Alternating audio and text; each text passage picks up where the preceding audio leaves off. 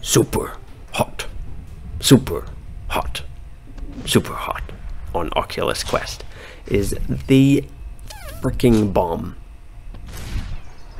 G'day gamers, I'm Dan from Game Reviews AU and welcome to another game review by me.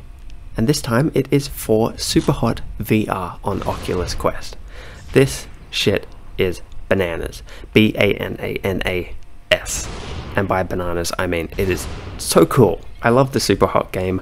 I reviewed it way back when it first came out on PC, and I thought it is such a cool idea. Basically, time only moves in the game when you do.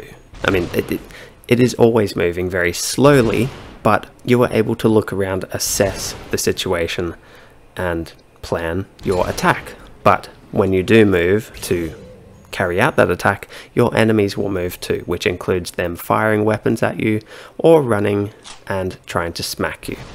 So, when I saw that Superhot was available in virtual reality on the Oculus Quest, I got so excited I knew I had to play this game and review it, and I am so glad I did. Super hot.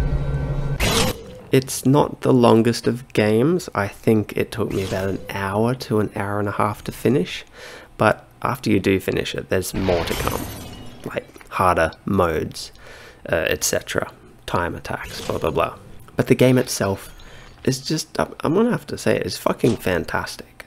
It's the best VR game I've played, apart from Richie's Plank Experience. That messes with your head. Have a look at my review of that and my dad playing it, etc uh, if you get a chance. But yeah, Superhot VR, just so good. The controls, the responsiveness of your movements to your character's movements in the game is just so smooth and so easy to do. Obviously, it's not easy to aim your weapon perfectly at the enemies, and you won't really know where to fire anyway because they're standing still when you're planning your attack. You move your gun up to aim at them, they've moved a bit. You fire, they might go left or right depending on how the AI determines which way is safest to go for them.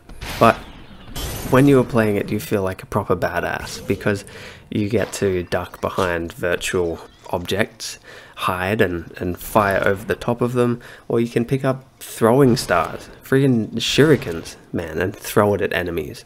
You can throw knives at them, bottles, whatever you can pick up, you can throw at the enemy to inflict damage or defeat them.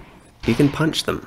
You can pick up knives and stab them. There are different weapons you can use, such as a pistol, an Uzi, a shotgun. Uh, I think that's about it actually but each of these weapons allows you to take on the enemies in such an epic way. You probably look like an absolute fool playing the game, and it can be dangerous if you don't leave yourself enough room to play. I'm just glad that when I ended up smacking things, it was just the window blinds, after which I would hear my wife behind me going, but yeah, it's an amazing game in general, and playing it in virtual reality is just such an awesome experience. Everyone who has ever been in virtual reality or owns a virtual reality headset needs to play Superhot VR. It's gone double platinum as well, which, you know, that's pretty sweet for a game. Just think about it. What this game is, it's so unique, so different, and provides such a quality experience in terms of shooting and gaming. The graphics in the game are also really good. It's all black and white, but the enemies are, red and orange. So it's very simple, but at the same time, it feels so real. These enemies that are running at you really want to kill you. And when you do get shot, it can trip you out. The downside to being shot also is you have to start the section that you were just in again. Until you reach the checkpoint, you will have to be restarting those points all over again. It can get annoying, but it also lets you plan out your attack a bit better. In terms of virtual reality comfort, this game is actually pretty comfortable. It's not too intense in terms of making you feel motion sick or anything because you get into the zone. You get into the game, you feel everything around you. It doesn't feel like everything's being thrown at you. And also because of the slow motion aspect, it's all very calm when you're looking around. You don't have things flying around and messing with your head.